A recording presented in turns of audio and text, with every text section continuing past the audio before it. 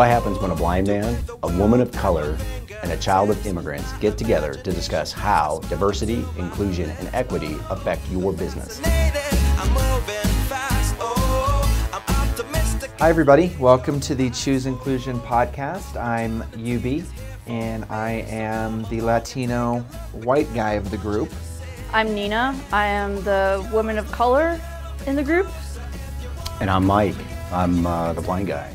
Hey, everybody, welcome back to the Choose Inclusion podcast. This is UB. I'm here with Mike and Nina as always. And by the way, um, for this particular recording, today, April 1st, is Mike's birthday. Happy birthday, Mike. Happy birthday, Mike. Thanks, Happy guys. birthday, Mike. Thanks, Greg. All right, everybody sing. Just kidding. Just kidding. we don't have time for that. Um, we'll record a separate one for that. Well, we're excited because we've got uh, Craig Forman. He's the senior people scientist at Culture Amp on the show today. Um, I'm, I'm very thankful because Craig and I connected right before COVID 19 took the world by storm. And I've, I'm thankful because of the resources and support that an organization like Culture Amp provides, particularly in this kind of situation. And so, what we're going to talk about today is you know managing culture in a time of crisis. Um, but first craig thank you. Welcome to the show. Um, what, it, what does it mean to be the senior people scientist? Let's start there. And you're on mute i think And there I am. Okay. Thank you for thank you for Awesome. having me and, and asking me to do this. I'm, I'm honored and just it's getting to know all of you has been a real treat and to be part is is awesome. What is a lead? Okay. For um so my title is senior, which just changed, lead people scientist. But the but the the, the truth is uh aside from that, what does that mean at, at Culture Amp? Look, I at a high level, we built. I'm really proud of this company on many levels, and the CEO Didier Elzinga, um, we're based out of, of Australia wanted early on to embed modern organizational psychology in everything that we do and he didn't want um, just to have one or two token io psychologists that worked on the survey and you know he really wanted to, to walk that walk. So we built a team which became the people science team and currently we have about 20 people globally and everybody on the team has a master's or phd in io psychology um, and that team is then distributed out through the organization. So we, we have what we call practice which is is that, is that team um, and then uh, we sit in different ways. So we do have some people that sit working on our prob- product, and we do have some people that work internally to help us run our our our organization and run our surveys. Many of the people scientists are client facing, so they're supporting our client facing teams with content for our for our partners or getting involved in helping some of our you know clients design their surveys and think about why they're designing the surveys the way they are and what can they tweak or modify um, and then doing like results calls so supporting organizations with understanding how to use the tools and extract stories. Um, that's kind of the high level.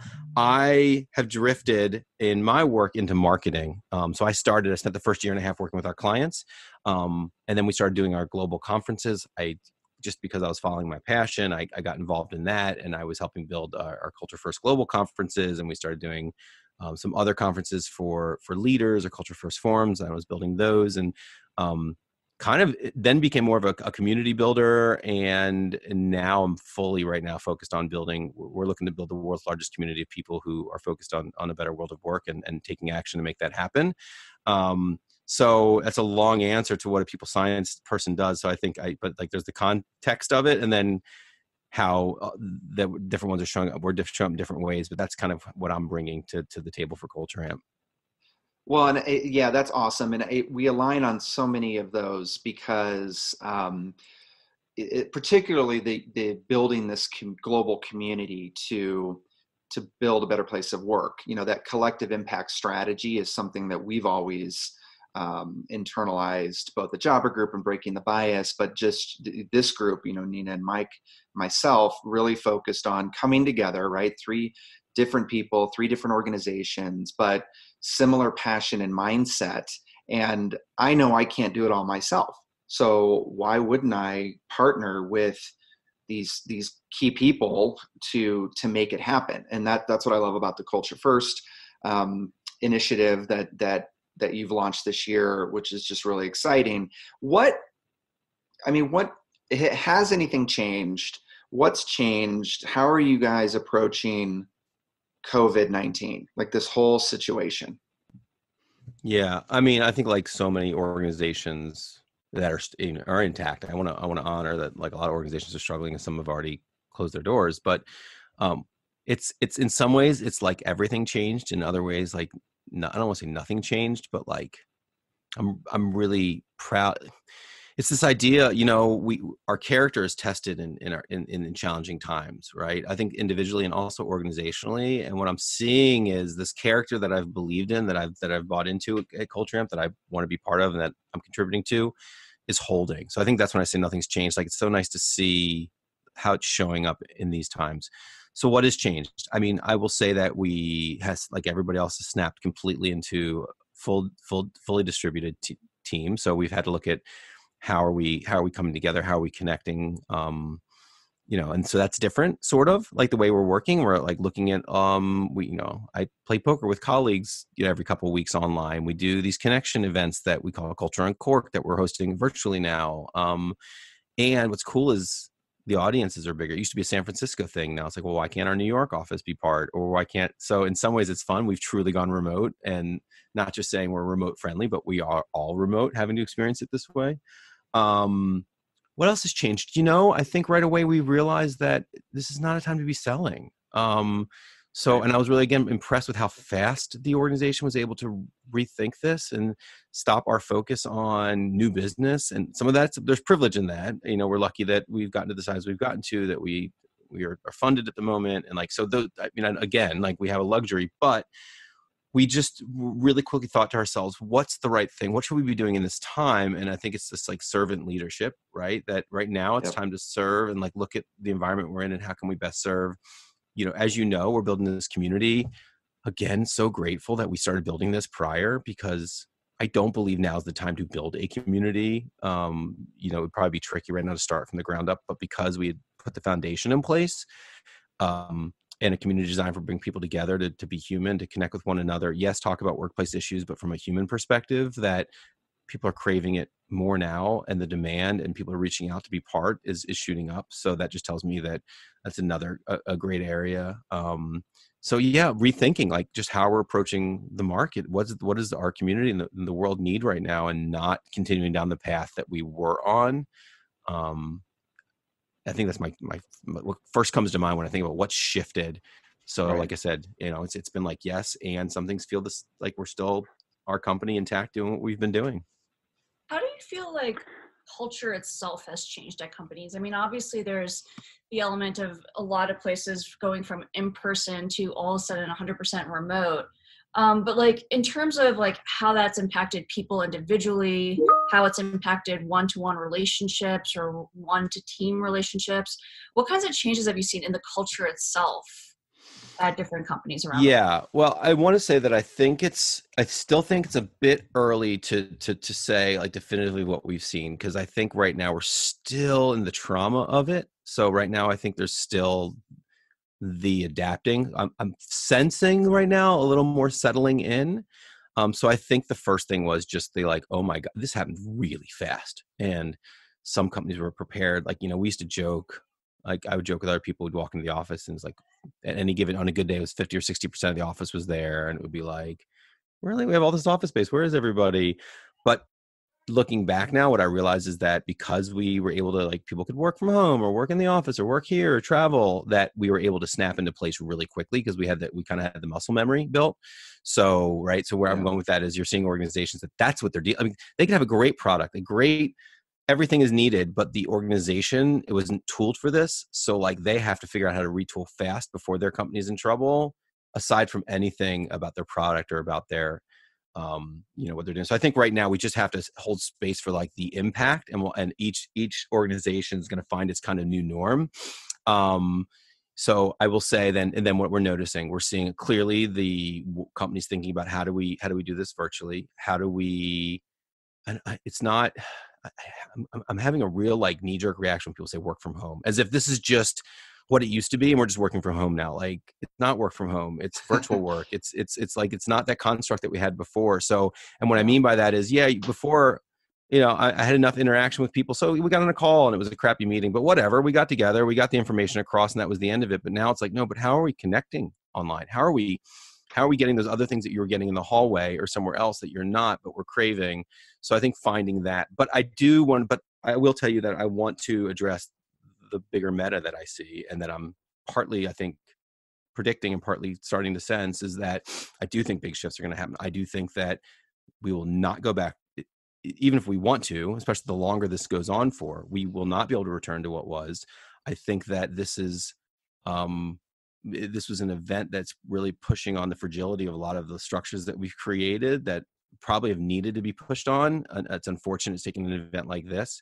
And what I mean is, like how do we organize like i've been always interested in or like uh, alternative organizational structures where we like really pull out more of the power of all these individuals and here we are in a time and a place where we're all interconnected we bring so much to the table and we're still looking to like the leader to tell us where to go or what to do next and i think that we're going to walk out with a more distributed uh, thought process around how we can work and how we can self-organize um, I think that's been coming. I think this is just a, a forcing mechanism that's going to push us further into that. I think these things around air quote soft skills, human connection, that the future of work that we've been talking about is now going to be here in a bigger way. And when the dust settles, everybody's been looking around saying, okay, how do we do this differently?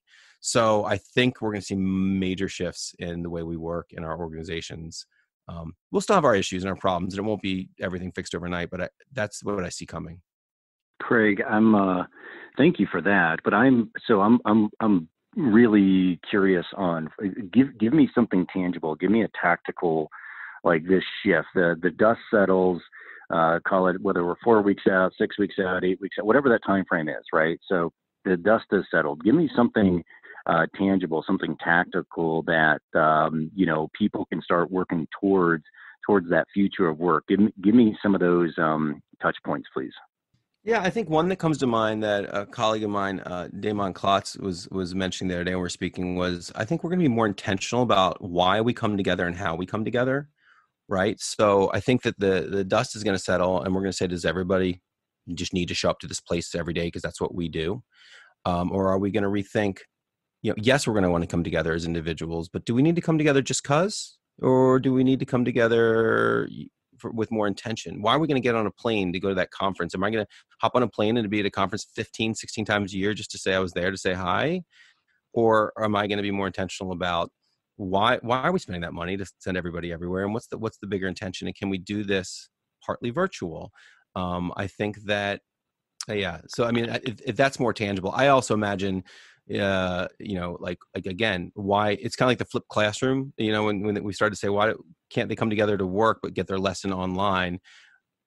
Can I work if I need quiet space to work? Can I do that from home or somewhere remote? And then when I go to the office, so to speak, that is it the traditional office? Is that where I come together, where I can just be with my colleagues, and it's a different sort of environment when we come together? Why are we coming together? It you know, again, we're just there to, to fill space and to hold so I think real estate's going to look different. I think all the space that we've created for offices, we're going to be rethinking. Um, yeah, you know, another another idea that came to mind for me, and I'm, I'm scared I'm not getting as, as, tangible as you'd like, is uh, but I'll, I'll go there. Was like I think retail. We're going to rethink retail, so we're going to have a lot more space everywhere. Why do I need to go to work to sit with my colleagues? I mean, I want to go to work and be around other professionals and that energy and that in space. Why couldn't I go online, have my meeting, and then get up and um, it, it, kind of like co-working but rethinking co-working like i work closer to home in my community at you know there's space where i'm around people we're all working but i may work for a different company than you but we're still office mates so i, I think the way we think about space and coming together is going to be dramatically different i also think that you know managers are having to have to rethink like how we're managing remotely connecting with individuals what do touch points look like how are we communicating how are we seeing each other when we when we're not just in these structures that we've had. Did that answer? I don't know if that was. If you want more specific, let's. let's no, that was. That.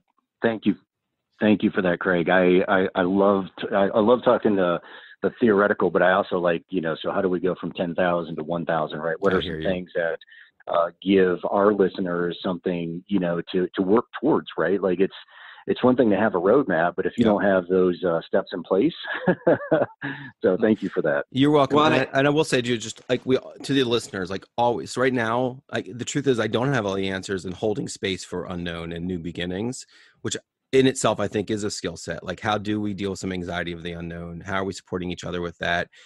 Because there is so much unknown i don't have the answers we're three weeks into this um, i sense something big coming but like how do we prepare ourselves for change and new beginnings um, you know and just making that be part of the equation and i think that is right now so just supporting our organizations around that. Yeah, yeah and I, actually, I think about like the mental health element to all of this right is that you know from a psychology perspective there's kind of this there's so much um so much of our communication is nonverbal right? And uh, all of a sudden we are put in a place where we're counting on our verbal communication probably more so than before because now we're not getting to feel the presence of someone. We can't really see their entire body react. We can see maybe some of the expressions on their face if they have good lighting on their video camera um, you know and so I think that human to human connection piece is also going to be important. And then also, how are we supporting the mental health of folks when you might not be able to pick up on so many subtle cues that are happening that we otherwise would have in an in person environment? Well, yeah, I think, and that was a point, Craig, you brought up earlier that, you know, that right now, this moment that we're in is the, the grief, the ad- adaptation to something that's not just a not just a, a flyover thing. I mean this is a true change and we need to embrace that. We need to step back and be empathetic and understand that people yeah some people have been working from home and this is sort of normal but most have not and most companies have not embraced that. And so this adjustment period is going to be filled with all kinds of opportunities to nina's point about addressing mental health. Um, and I think the the one takeaway from your tangible takeaways is, or the one word anyway, is like intentionality. Like we, because that's the biggest question we're getting. I think is, you know, we need to start thinking about what the new is going to look like when we come out of this. What what like what's the question you're getting that you all are getting the most during this?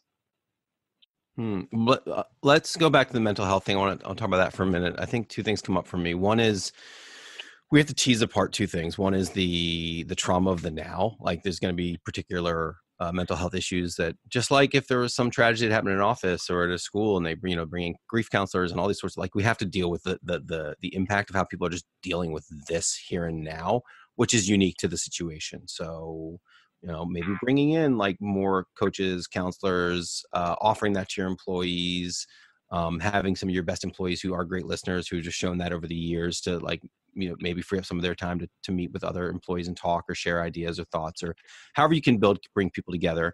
Um, and but I, I, I do want to say that as much as we do a lot with the verbal communication and sitting in a space, I'm also being blown away, myself included, because I had an aversion to all the online stuff, especially for the human. I was building these really human people coming together. And I will tell you, one of the gifts for me out of all of this has been once I got my head around the fact that I had to use a medium that wasn't my preferred medium, and then I got I got used to it. Then I started leaning in to say, well, how can I create what I've been doing other places through it? It's blows my mind the power of the connection with intentionality that we can create online.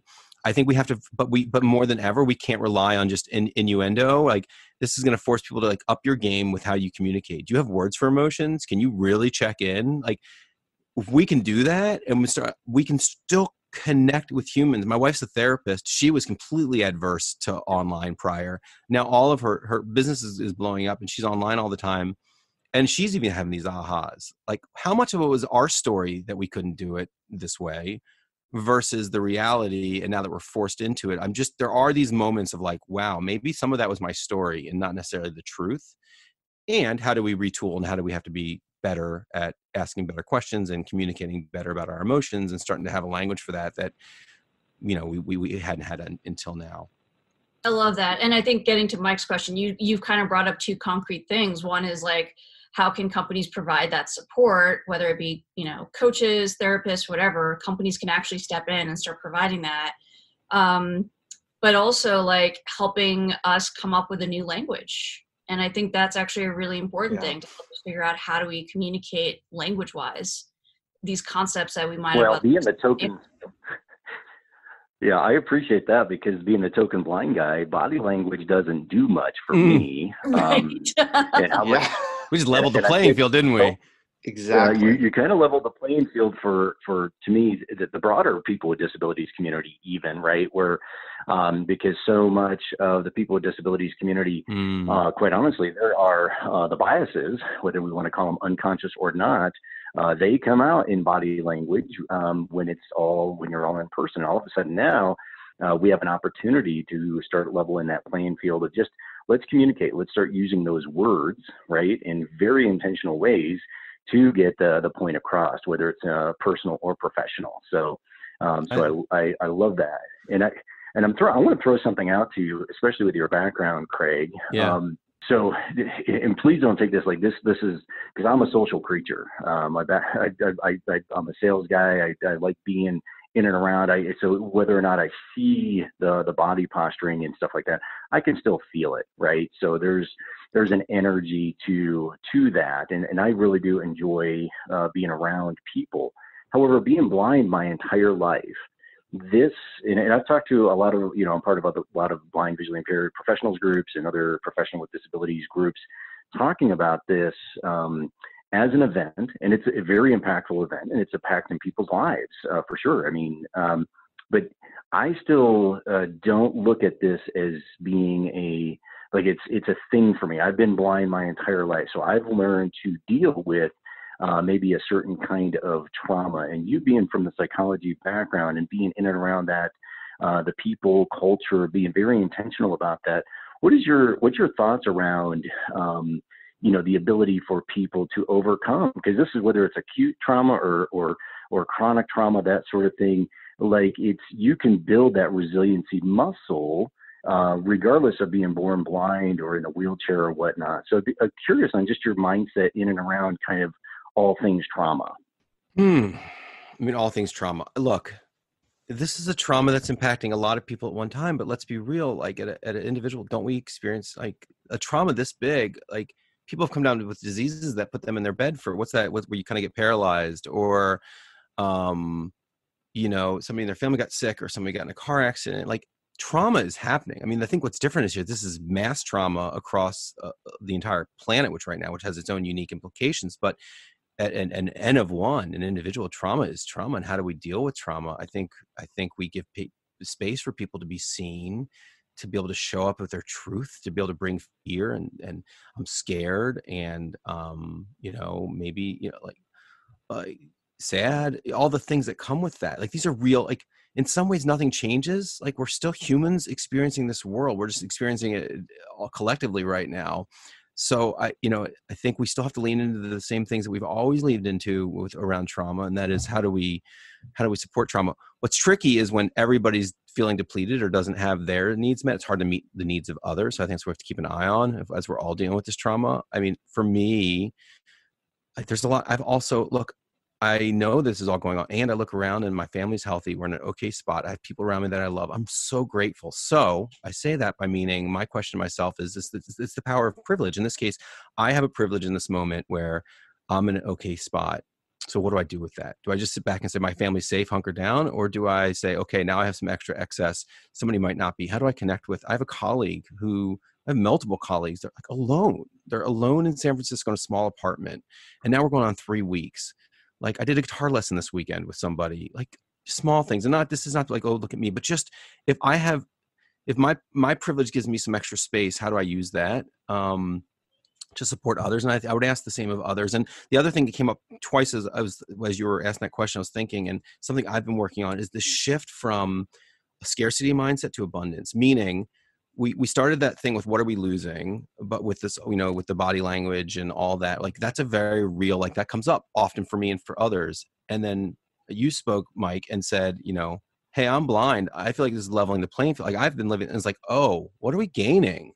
Like what the abundance what are we getting here? Like we approach it from what we're losing and then and then you hear another perspective you're like wait a second i've been feeling like what about everybody who's been able to go into work? I heard uh, mike tell me if i'm correct i think i heard i saw a speaker once something like only 20% of visually impaired people that want to work are employed like isn't that awful in today's yeah. day we have the technology that we have and maybe something like this all of a sudden opens it up and brings it to 60 or 70 because uh you, you know we rethink things or if you're if you're in a wheelchair right so physically space has been an issue but like why and now so what, I guess my question is also can we can we sit with you know in this time when there's going to be a lot of tragedy what are we also getting and what are we gaining and where's the the abundant side versus like what are we losing? Uh, what are we getting? And i think you know the brain gets scared to, to, to to scarcity but um, i you know urge people what's what's also what might we be getting here if you stay open to possibility? Absolutely. I love, yeah, I love, I love that, Craig. And and so I, you know, there are so many, um, whether it's our veterans, you know, with post traumatic stress, and and you hear, again, we, and the reason why I bring that up because I I believe that you know the the conversation of of mental health and the com, you know, realizing that yeah, there are a lot of people who quite honestly are being thrown for a loop in this, and could this be creating, could this right be creating a global empathy moment? because all of a sudden now there's, I mean, who, who do you know that is not impacted with this? You know, goes, you know, six degrees of Kevin Bacon. Everybody is connected to COVID 19 now. Like everybody is impacted. So could we be creating this global empathy movement right now that starts to uh, you know, uh, on choose inclusion, we have three really unique perspectives between Baldo, and Nina and myself and, and of course, I'm, I'm always beating the drum of professionals with disabilities because of the disparity within the employment sector, within workforce development. And yet, to me, I look at this moment in time where maybe more people will start to be a little bit more empathetic because challenges are just challenges. It's never the mindset of what, you know, like one of the first questions that we ask our job seekers who come to Blind Institute of Technology is Is your blindness an obstacle or is it a barrier? because that mindset is everything when it comes to employment. And right now, that mindset is this an obstacle or is this a barrier? Is everything to humanity. Yeah, I completely agree. I'm also, even when I was a little kid, I used to always wonder, like, what if, like, you know, as a kid, I remember like USSR and the Soviets and this, and I was like, what if an alien came and like was attacking your whole planet? Would like the whole planet come together? Um, and then, and then over these last few years, I started to question. I was like, I don't know. It seems like that's happening, and like we seem to still not unite. But then this happened, and it made me realize that this is the first time I think I've ever been able to get. I don't. I've gotten on the calls with people around the world over these last few weeks, and it's it's the weirdest experience that we all shared. It. It's not like my colleagues that were dealing with their wildfires in Australia a few months back, or when we were dealing with them in Northern California.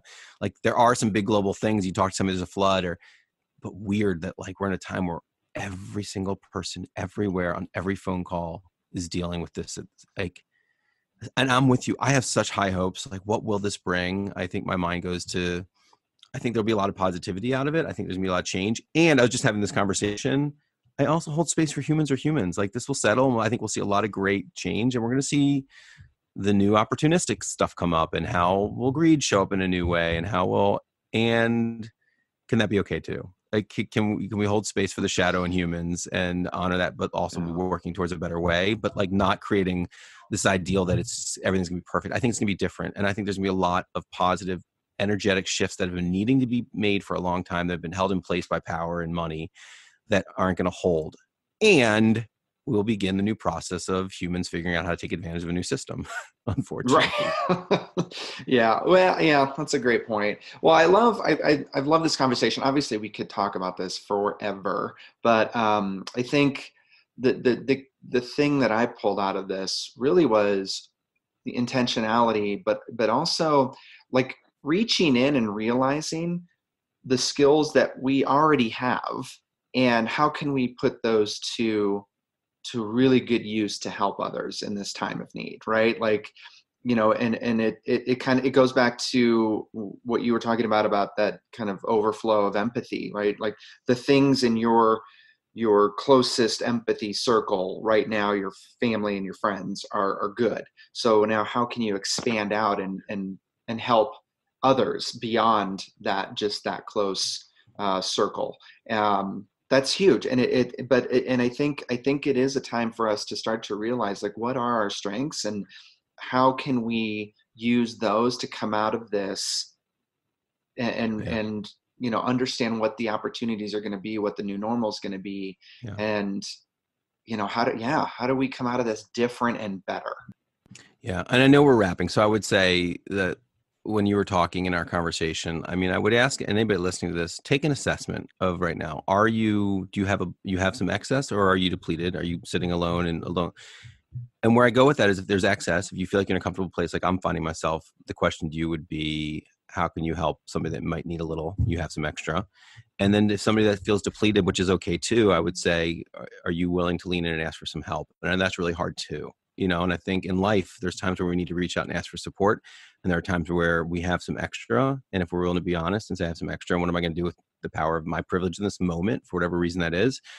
Um, but if you're on the other side that's okay too. There's nothing there's nothing wrong with you. We all find ourselves on that side. If you're on that side can you can you reach out to someone that might have some excess? You know are you willing to do that? Um, I think is is is important. And I also want to, you know, I am I do represent Culture Amp too. I I want to say that Culture Amp showing up the way we know how. Um, we did on culturefirst.com, which is all things community for us. We have a, a COVID. We're just collecting all sorts of resources from the from a, a people operations perspective on managing remote teams and, and it's not just our stuff we're pulling together the stuff that we're seeing like from some of our favorite partners and like LifeLabs and others in, in the world. So we're it's it's our way there's nothing there's nothing we're not trying to sell anything through this we're trying to compile great information. We've heard from a lot of hr leaders that they really are finding a lot of benefit. So if you go to www.culturefirst.com you can see our uh, resources that we've compiled um, and we really and we're and we're pushing harder on community again to bring people together so they can connect in these times when they're when they're not feeling as connected. So um, i just want to make sure people know about that. Awesome. No thank, thank you craig, craig, so so a, much. uh, what a what a true pleasure. Yeah this was uh, this was a lot of fun and we appreciate you taking out some time and and, and talking to us on the choosing inclusion podcast so thank you. I love it. Uh, i hope maybe down the road we come back. I have all kinds of like other like back to normal topics I want to talk about with all of you around like Hey, that's a men in the great idea. workplace and you know like all these other issues that cover that stuff too. And I Um, think it'll be an interesting conversation even a couple months from now as we're in that post learning or learning everything and then pivoting into something new.